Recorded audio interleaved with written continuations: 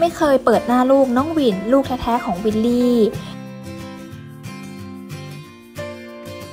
เปิดภาพล่าสุดน้องวินค่ะ ลูกชายคนเดียวของวิลลี่แมคอินทอชและภรรยาเยลหลีแมคอินทอชความหล่อถอดแบบพ่อมาแบบเป๊ะๆโลดแล่นอยู่ในวงการมานานหลายปีจริง ๆ ค่ะสำหรับวิลลี่แมคอินทอชดารารุ่นใหญ่ลูกครึ่งไทยอังกฤษแล้วก็จีนที่ฝากผลงานมากมายทั้งงานละครและพิธีกร จนประสบความสำเร็จเป็นที่รู้จักในเมืองไทย ด้านชีวิตรักเขาได้แต่งงานกับแฟนสาวเยลีแม็กอินทอสอดีตนางแบบและพิธีกรชื่อดัง มีลูกชายคนแรกชื่อ วินธาดาริศแม็กอินทอสค่ะ ซึ่งก่อนหน้านี้วิลลี่เผยสาเหตุไม่ส่งรูปลูกชายนาน10ปี เนื่องจาก